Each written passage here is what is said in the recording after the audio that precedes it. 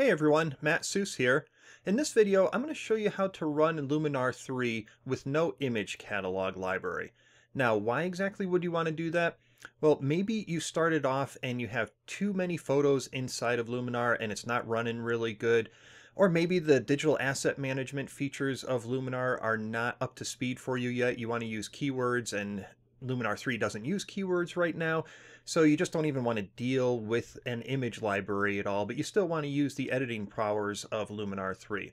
Well, I'm going to show you two different ways where you can set it up. One is if you haven't even installed Luminar 3 at all yet, and the other way is if you already have installed Luminar 3. I'm going to show you what you can do to clean things up so that you don't have your image catalog. Let's go ahead first and let's fire up Luminar 3 here. Now, I didn't install Luminar 3 at all yet. So we're going to be presented with a welcome screen and then it's going to ask you where you want to store your library and where you want to get your photos from. So click on this Let's Get Started. And right over here, this is important. So you want to tell Luminar where your photos are. Now, probably a lot of people, you know, you just hit the next button over here and went right ahead with getting all the photos that are in your photos library because that's where it defaults to. It's in your pictures library where Luminar wants to first pull in all of your photos. So unless you hit this modify button, you probably have all your photos from your pictures library inside of Luminar. Or you may have hit that modify button and you set it up to do an external hard drive that maybe has like 100,000 photos in it and now Luminar is running really slow and you just want to just start off from scratch. Now I'll show you guys what to do in just a moment here, but if you're one of the others who are just starting from scratch, just starting to load Luminar 3 on your computer, what I recommend doing is clicking on Modify and changing the location of where you want Luminar to pull in photos. Now, what I did was on my desktop, I created a folder called Incoming, and we can see here that there is absolutely nothing in this folder. This is really cool because what's going to happen is by me selecting that folder, Luminar is going to look for photos in there. It's not going to find any, and then when it opens up, we're not going to have any photos at all in our catalog. So I'll just go ahead and click on next and keep on cycling through all of these screens here and click on let's go. And now we can see we are inside of Luminar. I have a folder called incoming, but there are no photos at all inside of it. Now that I have this set up like this, I can go ahead and click on file and click on open images for quick edit if I wanted to do some quick editing on photos. It's not going to be stored in the library at all or anything like that. And let's take a look at that real quick. I'll click on open images and let me go ahead and go to one of my drives here and I'll just grab a quick photo here at random. Open this up. I can go, I'm in edit already, give this a little bit of accent AI, a little bit of vibrance and saturation. Now that I've made some changes, if I go back to my library, it does put it in this quick edits folder. It's a shortcut and it's a virtual folder. Now let's take a look at if you already have photos in there and you just want to start from scratch. You don't want to have any photos at all. What I'm going to do is quit out of Luminar.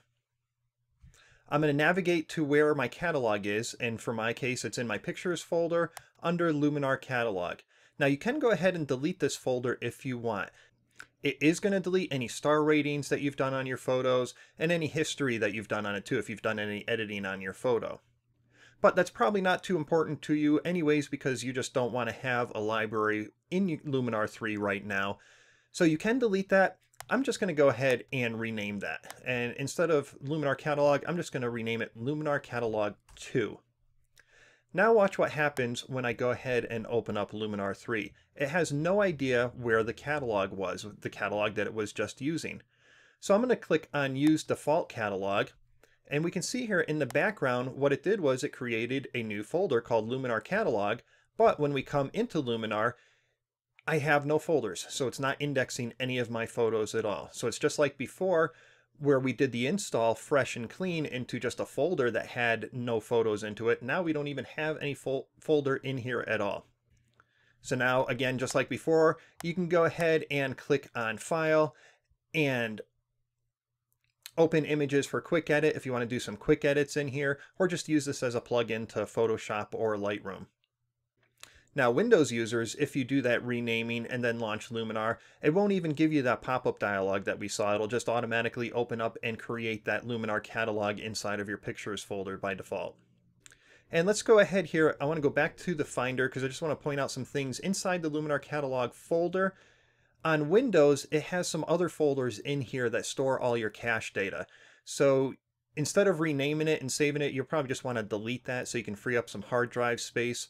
On the Mac, the cache data is stored. You got to go into your users folder and go into library. Now, if you don't see library in your Finder, if you right click and click on show view options, make sure that you have show library folder visible. Once you do that, you click in library, then under application support, then com.macphun.luminar3. In this folder here, the entities folder, this folder is where all of your caching is done for your files, uh, for all the preview photos. So if you want to free up some hard drive space, you can go ahead and delete that entities folder, and then you'll free up some hard drive space because you won't have all those previews inside of Luminar anymore. And because you don't have a photo catalog anymore, you really don't need those. Now, one last option, you may want to do this whole thing that I'm talking about. Maybe you do want to have photos in here, but you don't want to have those 100,000 photos that you first threw into Luminar. So go ahead and do the steps that I outlined to get you back to square one here, and then you can go ahead and click on the plus icon so you can add specific folders that you want. And it's not a bad strategy by doing this because then you'll be bringing in smaller amounts of photos and the program may run a little bit more efficiently for you. Now you may be wondering why I didn't just go up to File, Catalog, and New and create an entirely new catalog because that's basically what is going to end up happening. If I go ahead and click on New, I can go ahead and we'll just call this a Test Catalog and hit Save. And that's going to create an entirely new catalog where I can then add individual folders. We can go back to my hard drive and see that test catalog right over here. Well, that's definitely another option that you have to start from scratch again. But you may be experiencing some issues with Luminar not even loading, and if you go ahead and rename the catalog or just delete it, it's going to start from scratch and Luminar is going to build a brand new catalog for you. So that's one reason why. And I wanted to show you all the behind the scenes that you can do to sort of manage your catalogs and try and get a setup that's going to work good for you and your workflow.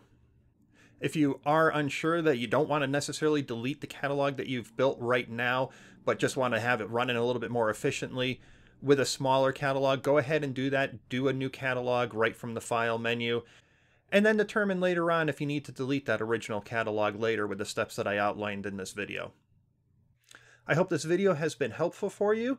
If so, feel free to subscribe to my YouTube channel here, and also take a look at my Mastering Luminar 3 online course, where I have an online course that is just dedicated to this program, and I bring you through the ins and outs of using this program, catalogs, and using it with other software, and I talk about all the filters and everything you need to know about Luminar 3. That's it, and I'll talk to you later.